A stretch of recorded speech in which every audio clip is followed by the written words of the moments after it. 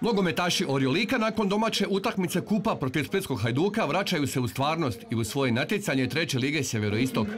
I za momčadi koju i ove sezone jako dobro vodi trener Braslav Ostojić je niz od tri utakmice u kojima nisu poraženi.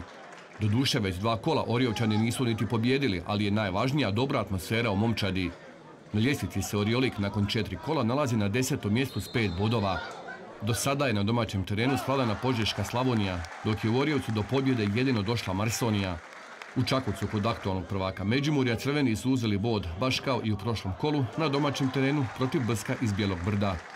Pa što se tiče učinka, baš, e, nisam baš moglo biti puno više bodova, kad sagledamo situaciju, kako se neke utakmice razvijale, moglo biti manje bodova, tako da, eto, pet bodova iz četiri kola, tri domaćinstva, nije nešto preterano.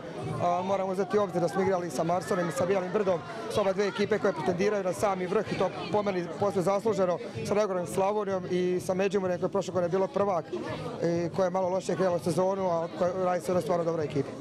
Dobro je, mogli smo imati više bodova, smo mogli imati manje. Za sad startali smo dobro, tu smo negdje u sredini, držimo se standarda naše da budemo tu, da možemo se svima igrati, da niko, niko ne može reći da će doći u Orivac po bodove, da će nas pobijediti. Standard, zlata sredina.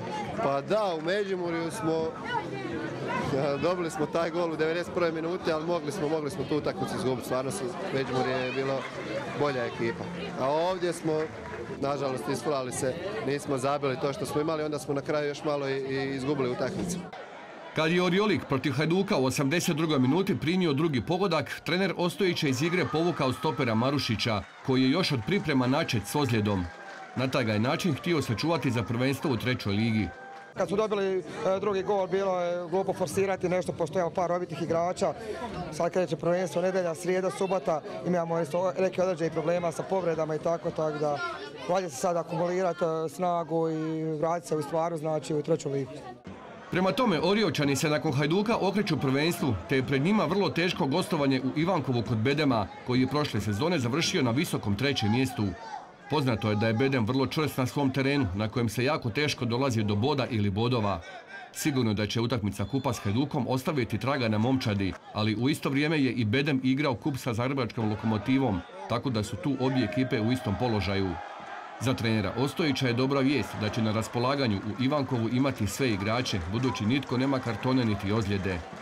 A također još jedan teško gostovanja. Slušajte, e, u ovoj trećoj ligi nama je svaka utakmica teška, ta ne, tu nema Osika, možda e, Marsoni i Bijelog brda i ne znam Osika dva ekipe koje su izrazile želju za ići u drugu ligu. Sve ostale ekipe su tu podjednake, tako da je svaka utakmica nalila.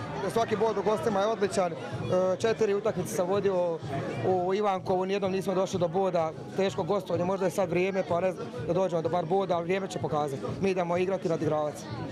Da, da, odlična ekipa, čvrsta, pogotovo kod kuće. Ovaj, pa probat ćemo nešto i tamo uzeti.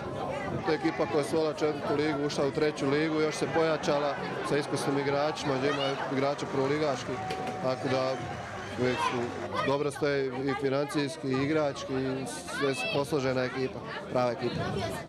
Tako će se nogometaši Orjolika sutra od 16.30 u petom kolu treće lige Istog sastati u Ivankovu s Bedemom, koji se na ljestvici nalazi na sedmom mjestu, te ima samo bod više od njih.